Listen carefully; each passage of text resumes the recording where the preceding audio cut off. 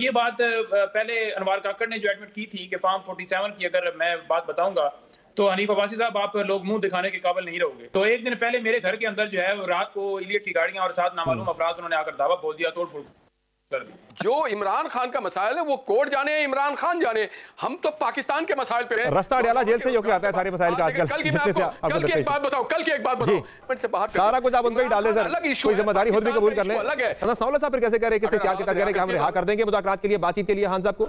अगर लीडर नवाज़ शरीफ भड़क मारते हो तो कहते हैं हम अपने अदालतों बिस्मिल्लाहिर्रहमानिर्रहीम अस्सलाम वालेकुम नाजरीन गुजशत रोज़ राना सनाउल्ला ने लाइव शो में एक बयान दिया कि अगर इमरान खान मुजाकर करने के लिए राज़ी हों तो उनको रहा किया जा सकता है। मतलब अब इमरान खान इनके कहने पे रहा होंगे। तो फिर जो केस हुकूमत ने बना रखे हैं, वो सब क्या है? इसी पर आज तहरीक इंसाफ के नईम हैदर पंचोता ने ऐसे घुमा फिरा कर निहाल हाशमी से बात की कि निहाल हाशमी ने बातों ही बातों में सच उगल दिया। आए पहले नईम हैदर पंचोता और निहाल हाशमी की गुफ्तु सुनते हैं फिर इस पर तफसील से बात करते हैं। इससे पहले भी अगर के साहब की स्टेटमेंट देखें तो वो पहले भी ये कह चुके हैं इस तरह की बात कर चुके हैं। हम्म। जिसमें वो वाजह अंदिया दे चुके हैं कि के खान साहब की जो रिहाई है वो मुमकिन हो सकती है अगर बातचीत की जाए। तो आप इस बात से अंदाज़ा लगाएँ जो यहाँ पर हमारे भाई रहनुमा बैठे हुए हैं जो इस चीज़ को सिर्फ़ और सिर्फ़ इसलिए कह रहे हैं कि वो हमारी बात जो हम मैं अब करने जा रहा हूँ उसकी एंडोर्समेंट ना हो। देखें वो उससे जो कह रहे हैं उससे वो वाजह कह रहे हैं कि ये केसेस जो है वो झूठे बनाए गए थे कि जो ही हमारे साथ बातचीत करेंगे, डील करेंगे तो फिर उन्हें रिहा भी कर दिया जाएगा। तो ये बात पहले अनवार काकड़ ने जो एडमिट की थी कि फार्म 47 की अगर मैं बात बताऊँगा तो हनीफ अब्बासी साहब आप लोग मुँह दिखाने के काबिल नहीं रहोगे। तो अराना सनाउल्ला साहब ये जो बात कर रहे हैं, वो यही कह रहे हैं कि इमरान खान साहब को तो रिहा किया जा सकता है अगर हमारे साथ बैठ के बातचीत करें, डील करें या जो भी कन्वर्सेशन करें। तो मैं आपको वाजे मौका रखना चाहता हूँ कि इमरान खान साहब ने एक दफ़ा भी पीएमएलएन से या पीपल्स पार्टी से बातचीत के हवाले से कभी भी बात नहीं की। क्योंकि उन्हें पता है वो बात हमेशा ये करते हैं कि एक वो लोग जो जिन्होंने मैंडेट चोरी किया है वो लोग जिन्होंने इस मुल्क की मीशत जो है वो तबाह किया जितनी दफ़ा इन्होंने हुकूमतें दी इनकी कोई ऐसी पॉलिसी नहीं है जिससे ये मुल्क को आगे लेकर जा सके। वही आप देख लें कि सारी टीम जो लास्ट टाइम जो है वो हुकूमत थी उसमें वही वज़ीर खजाना और वही तो फिर साहब फिर बातचीत होगी मुजाकर होंगे या मुश्किल लग रहा है? तो क्योंकि पीटीआई तो बार बार इस बात पे मजिद है भाई हमने तो सिर्फ़ एस्टेब्लिशमेंट से ही हमने मुजाकर करने इनके साथ हमने बातचीत नहीं करनी। है रोफ साहब ने बड़े दो टोक अल्फाज में कहा जी कोई हमारी बातचीत ना नून लीग पीपल्स पार्टी ना एमकेएम किसी के साथ हमारी बातचीत नहीं होगी अगर होगी तो वो एस्टेब्लिशमेंट के साथ होगी। उनका जी इनके साथ हम बातचीत नहीं करेंगे। देखिए मुझे उस स्टेटमेंट का नहीं पता कि किसी जगह के ऊपर उन्होंने एस्टेब्लिशमेंट की बात की हाँ, हमारे, दो हमारे प्राइम में उन्होंने बात की है उसके ऊपर मैं एंडोर्स करूँगा कि बिल्कुल इन तीन जमातों से इनकार करने का खान साहब ने कहा है। और उन्होंने कहा है कि ये तीन जमातों के अलावा आप बातचीत करें। लेकिन उसका ये मतलब लेना कि हम जो है वो सियासी जमातों से नहीं बात करना चाहते और सिर्फ़ और सिर्फ़ एस्टेब्लिशमेंट से बात करना चाहते हैं तो ये गलत बात है। दूसरी बात यह है कि यहाँ पर अगर आप देखें तो आपके सामने होगी कि जनरल बाजवा साहब ने जो स्टेटमेंट दी थी कि अब हम सियासत से जो है वो आ, हम उसमें इन्वॉल्वमेंट नहीं करेंगे। तो ये कब जो है सियासत से इन्वॉल्वमेंट खत्म होगी? या पहले जो आज तक इन्वॉल्वमेंट की गई इसका मतलब आपका आर्मी चीफ जो उस वक्त का था वो एडमिट कर रहा है कि हमने पहले की है तो लिहाजा अब नहीं की जाएगी। और अब भी अगर देखें तो जितने केसेस बनाए गए हैं या फॉर्म फोर्टी के मुताबिक अगर इनको जिताया गया है तो उसमें आप देखें क्या इनकी अहलियत थी कि ये जीत सकते नहीं जीत सकते थे। केसेस बनाने वाले अब ये तो मोरे हैं फिर आगे का आगे का वे बता दें। आप आपके पास अब दो रास्ते हैं ना पंजोता साहब। एक है आप तहरीक चलाएँ आवाम में जाए। वो आपसे फ़िलहाल होता हुआ नज़र नहीं आ रहा। जो हमने आपकी मुख्तलिफ़ मुजाहरे अब तक देख लिया हमने आठ फरवरी के बाद। आठ फरवरी को कोई शक नहीं है। बड़ी तादाद में वोटर आपका निकला, उसने वोट कास्ट किया तरीके से लेकिन जो पावर शो आपका मुजाकरात वाला सॉरी जो एहतजाजी मुजाहरों वाला स्ट्रीट पावर वाला, वो आप केपी के अलावा आप कहीं भी इंप्रेसिव पावर शो करने में कामयाब नहीं रहे अभी तक। पंजाब में आपकी लीडरशिप एट लार्ज है। कुछ गिरफ़्तार हैं, कुछ जो है वो गायब हैं मौजूद ही नहीं ग्राउंड के ऊपर। तो कैसे आप पंजाब में लोग निकालेंगे? जब तक जब तक आप पंजाब में लोगों को नहीं निकालने में कामयाब होते, आपकी तहरीक कामयाब नहीं हो सकती तो लगता है आपको फिर बातचीत करनी पड़ेगी। देखें पहली बात तो यह है कि मैं एक वकील हूँ। मैं पुरमन एहतजाज हमारा हक है और ये नौ मई को जब पुरमन एहतजाज की कॉल दी गई थी तो एक दिन पहले मेरे घर के अंदर जो है रात को इलियट की गाड़ियाँ और साथ नामालूम हम्म। अफराद उन्होंने आकर दावा बोल दिया तोड़ फोड़ कर दी। हमारे वर्कर्स को हमारे लोगों के घरों में पंजाब हो आपके सामने सिंध हो या बलूचिस्तान पहले ही एक दो दिन जो है वो क्रैक डाउन शुरू कर दिया जाता है कि कोई निकले।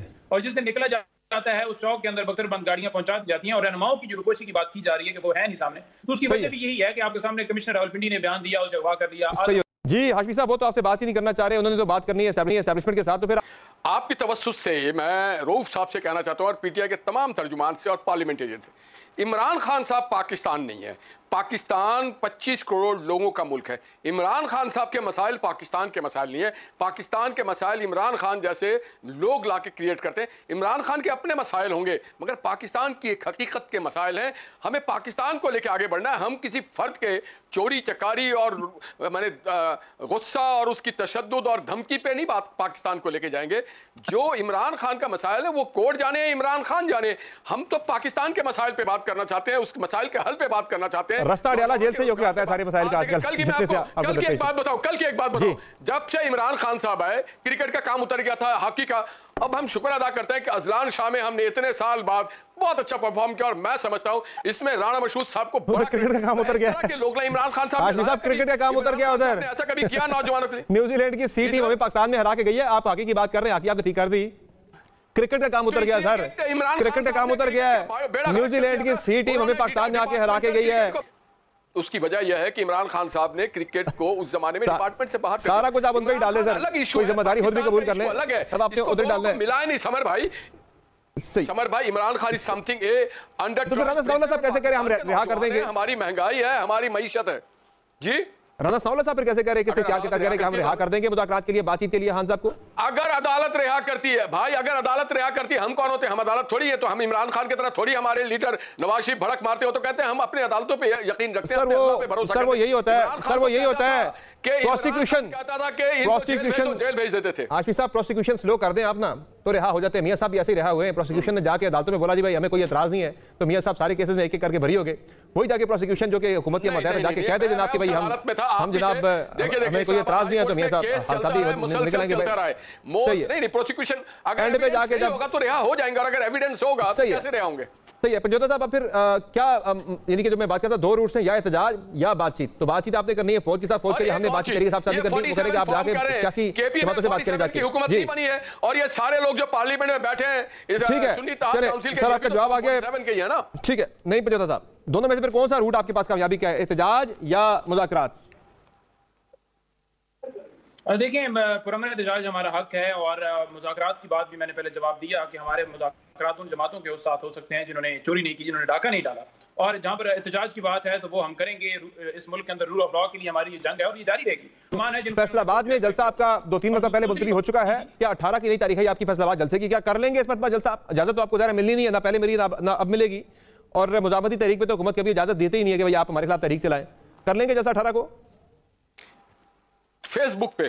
देखें इस्लामाबाद में जलसे की इजाज़त मांगी जाए तो यहाँ पर सिक्योरिटी खदशात हैं। अगर हम फैसलाबाद में मांगे तो वहाँ पर खदशात हैं। लाहौर में मांगे तो वहाँ खदशात है। जिस जगह के ऊपर हम मांगे वहाँ पर खदशात है। लेकिन जहाँ पर पी एम एल ए ने करना हो, वहाँ वहाँ पर सरकारी प्रोटोकॉल और सरकारी मशीनरी पूरी इस्तेमाल की जाती है। डीसी जो है उनको हदायत यदि फिर नहीं समझिए फिर नहीं तो साहब तहरीक को लेकर यदि अब आप कह रहे हैं तहरीक भी आप चलाएँ हुकूमत की इजाज़त से आप तहरीक चलाएँ। हुकूमत तहरीक की इजाज़त कभी नहीं दिया दिया करती वो आपने खुद स्पेस लेनी होती है तहरीक के लिए। अब आप जज भी बन गए हैं मिलिट्री ट्रायल करके। ठीक है हाशमी साहब क्यों आप इन्हें पुरमन तहरीक चलाने की इजाज़त नहीं देते? किस बात का डर है? ये फॉर्म 47 का डर है या किस बात का कि आप इन्हें पुरमन तहरीक नहीं चलाने देते जलसे तक नहीं करने दिए जाते? समर भाई मैं जरा एक मिनट आप मुझे अगर बोलने दें तो मैं आपको बताऊँ इनकी पार्टी में तीन वॉइसेस हैं। एक जो ये वकील दोस्त हैं एक जो पुराने पीटीआई के लोग हैं जो छुपे हुए हैं वो चाहते हैं फेसबुक पे ना ऑनलाइन चलता रहे जलसा। एक है जो पार्लियामेंट में आ गए इस बार तो इन सब की तीन मुख्तलिफ़ राय और एक दूसरे को नाकाम करने की कोशिश करते हैं। कोशिश होनी चाहिए इनकी पार्टी मैं यहाँ तक आपकी बात से बिल्कुल एग्री करता हूँ। बात करें। अब अब एक दूसरे को गिराने वाली बात जो है। इनके पास मुद्दा कोई नहीं है। देखिए इनके पास कोई मुद्दा नहीं है कोई पॉइंट नहीं कि किस बुनियाद पे ये तहरीक चलाएँगे या बात करेंगे। अगर अदालतों को मानते हैं तो फिर अदालतों के अंदर जेरे समात है इमरान खान के केस उसका इंतज़ार करें। और पूरा बात करें इनके पास बोलने को कुछ नहीं हमारे पास बोलने को ठीक है। साहब एक एक जुमले में अगर आप वाइंड अप करें तो मुझे फिर कोई चीज़ नहीं है। मुझे ब्रेक पे जाना जी पंजोता साहब। ये आप आपसी इख्तलाफात आपके खत्म होंगे तो आपको हुकूमत को टफ टाइम दे पाएँगे। आप एक दूसरे को टफ टाइम देने में लगे हुए अदालतों में अदालतों में केसेस पेंडिंग है जहाँ पर कैमरे लगाए जाते हैं जहाँ पर उनके भाइयों को सही है। किया जाता है जहाँ पर उनको हिरासा किया जाता है जहाँ पर उन्हें इलेक्ट्रिक शॉक लगाए जाते हैं जहाँ पर प्रेशर डाला जाता है हॉस्पिटल में दाखिल हो जाते हैं और उनके हक में एक करारदाद नहीं ये पेश कर सकते। उनके हक में एक करारदाद नहीं पेश कर सकते। एक ट्वीट नहीं कर सकते। यहाँ पर ये एक ट्वीट करके नहीं कह सकते कि अदलियत जो है हमारी आज़ाद होनी चाहिए बल्कि ये कहते हैं कि जजेस गद्दार हैं ये पीटीआई के जजेस हैं। जो भी बताएगा कि मुदाखलत के ज़रिए हमें यूँ परेशान किया गया। हर एक को ये कहेंगे कि ये गद्दार है क्योंकि जो भी हक की बात बात करेगा तो वदार डिक्लेयर होगा तो ये इनका रवैया है बिल्कुल सही है। सोच है ये इनका बयानिया है ये इनका लायामल है। इससे क्या फुल टाइम चले चले चले बहुत शुक्रिया। आपने नईम हैदर पंचोता और निहाल हाशमी की गुफ्तगु सुनी। नईम हैदर पंचोता ने बिल्कुल ठीक कहा कि एक तरफ़ ये कहते हैं कि इमरान खान पर जितने भी केस बनाए गए हैं, वो हमने नहीं बनाए। जबकि दूसरी तरफ़, राना सनाउल्ला कहते हैं कि अगर इमरान खान हमसे बात करने पर राज़ी हो जाएँ तो इमरान खान को रहा किया जा सकता है। इसका मतलब तो यही हुआ कि जो केस बनाए गए हैं इमरान खान पर, वो सारे के सारे इनके अपने बनाए हुए हैं। नईम हैदर पंचोता ने कहा कि राना सनाउल्ला तो साफ़ अल्फाज में कह रहा है कि मज़ाक करो और रहा हो जाओ। ये तो खुद इस बात को एक्सेप्ट कर रहे हैं कि इमरान खान पर जितने भी केस बनाए गए हैं, वो सब झूठे केस हैं। निगरान वज़ी अजम अनवारुल हक काकड़ भी एक महफिल में हनीफ अब्बासी को ये कह चुके हैं कि अगर मैंने फार्म 47 की बात की तो तुम्हारी पार्टी को छुपने की जगह नहीं मिलेगी। यानी कि हर तरफ़ से अब गवाहियाँ आ रही हैं कि ये हुकूमत जाली मैंडेट लेकर इकतदार में बैठे हुए हैं और इमरान खान पर इन्होंने जो केस बनाए हैं, वो भी सारे के सारे जाली हैं। नाजरीन, आपका इस हवाले से क्या कहना है? आप अपनी राय से हमें ज़रूर आगाह करें। नेक्स्ट वीडियो तक मुझे दें इजाज़त। अल्लाह हाफिज़।